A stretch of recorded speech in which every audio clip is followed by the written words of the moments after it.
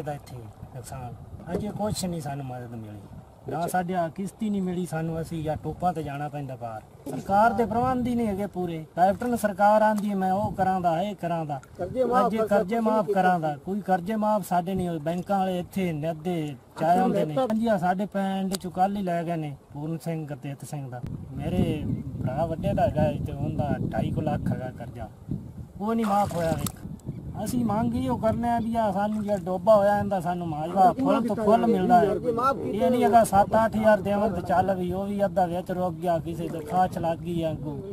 ਇਹ ਜਿੰਦੀ ਹੈਗੀ ਹੈ, ਜਿਹੜਾ ਵਾਂਦਾ ਪਿਆ, ਜਿਹੜੀ ਬੀਜੀ ਹੈ, ਉਹਨੂੰ ਮਿਲਣਾ ਚਾਹੀਦਾ ਮਾਜਵਾ ਕੋਈ ਉਹ 5000 ਤੋਂ ਥੱਲੇ ਥੱਲੇ ਮਿਲਿਆ ਸੀ। ਸਾਡਾ ਕੀ ਫਸਲ ਸਾਰੀ ਖਰਾਬ ਹੋ ਗਈ ਹੈ ਜੋਨਾ ਪਾਣੀ ਇਹਨਾਂ ਨੇ ਹੋ ਗਿਆ ਲੱਖ ਲੱਖ ਜਿੰਨਾ।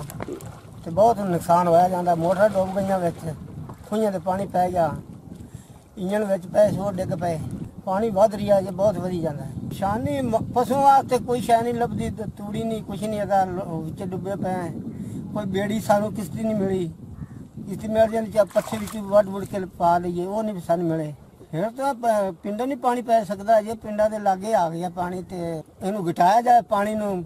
ਤੇ ਕੋਈ ਬ- ਬਚਤ ਹੋ ਸਕਦੀ ਹੈ ਪਾਣੀ ਘਟੇ ਤਾਂ ਹਰ ਵਾਰੀ ਸਾਨ ਤਾਂ ਇੱਥੇ 20 25 ਸਾਲ ਕਿ 30 ਸਾਲ ਹੋ ਗਿਆ, ਇਹ ਵੀ ਸਾਡੇ ਨਾਲ 30 ਹਾਲਾਤ ਹੁੰਦੇ ਹਨ ਕਦੇ ਡੋਬਾ ਪੈ ਗਿਆ, ਕਦੇ ਜੰਗ ਲੱਗ ਗਿਆ, ਕਦੇ ਕੁਛ ਹੋ ਗਿਆ, ਬਸ ਉਹ ਸਾਡੇ ਲਾਉਣ ਲੂਣ ਜੇ ਕੋਈ ਚੱਕੇ ਨੇ ਉਹ ਸਾਰੀ ਨਹੀਂ ਲੈਂਦੇ ਸਾਥੋਂ। ਕੱਲ ਪੁਲਿਸ ਆਈ ਸੀ ਜੋ ਪਰਸੂ ਬੰਦੇ ਨੂੰ ਫੜ ਕੇ ਲੈ ਗਏ ਨੂੰ। ਤੇ ਸਾਡਾ ਨਾ ਪੂਰਾ ਹਾਲ ਹੋਇਆ ਖੜਾ ਹੈ ਉਹ ਪੂਰਨ ਸਿੰਘ ਹੈ, ਉਹਨਾਂ ਹੈਗਾ ਗੁਰਦੇਵ ਸਿੰਘ ਦਾ ਪੂਰਨਾ। ਉਹਨਾਂ ਦੇ ਘਰੇ ਆਏ ਸੀ। ਹੱਥਕੜੀ ਲਾ ਕੇ ਉਹਨੂੰ ਫੜ ਗਏ। ਜ਼ਮੀਨ ਤਾਂ ਨਾ ਦੀ ਸਿਰਫ ਉਸੇ 4-5 ਕਿੱਲੇ ਹੀ ਬਸ।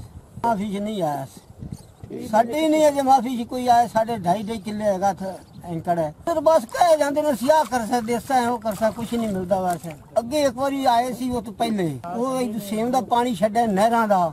ਉਹ ਹੀ ਸਾਨੂੰ ਮਾਰ ਗਿਆ ਸਾਡੇ ਪਿੰਡਾਂ ਦੇ ਮੁੱਢੇ ਸਾਰਾ ਨੁਕਸਾਨ ਉਹ ਬਹੁਤ ਕਰ ਗਿਆ ਹੈ। ਉਹ ਅਸੀਂ ਹੁਣ ਉਹ ਉਹਦੇ ਤੋਂ ਦੁਬਾਰੇ ਝੋਨੇ ਲਾਏ ਨੂੰ ਹੁਣ ਤੋਂ ਦੁਬਾਰੇ ਹੁਣ ਫੇਰ ਪਾਣੀ ਉੱਤੋਂ ਆ ਗਿਆ। 15 20000 ਰੁਪਇਆ ਖਰਚਾ ਆ ਜਾਂਦਾ ਮਤਲਬ ਸਾਰਾ। ਫਿਰ ਤਾਂ ਕੁਝ ਨਹੀਂ ਪੱਲੇ ਪੈਣਾ ਕੀ ਪੈਣਾ? ਫਿਰ ਕਰਜ਼ੇ ਵਿੱਚ ਚੜੇ ਜਾਂਦੇ ਨੂੰ ਆੜਤੀ ਦੇ 4-4 ਲੱਖ ਤੇ ਹੋਇਆ ਪਿਆ ਹੈ। ਉਹ ਆੜਤੀ ਆਦੀ ਥਾਂ ਸਾਨੂੰ ਆਂਦੇ ਪਏ ਦਿਓ ਅਸੀਂ ਕਿੱਥੋਂ ਦੇਈ ਪੈਸੇ?